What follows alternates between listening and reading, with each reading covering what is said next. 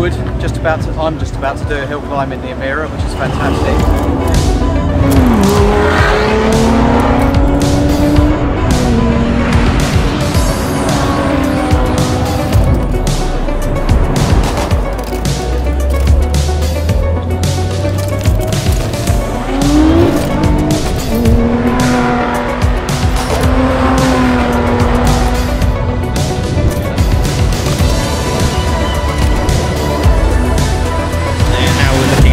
Lotus Evija. 2,000 horsepower, Lotus' first EV, immensely powerful, immensely fast. This is a real, real hypercar, isn't it?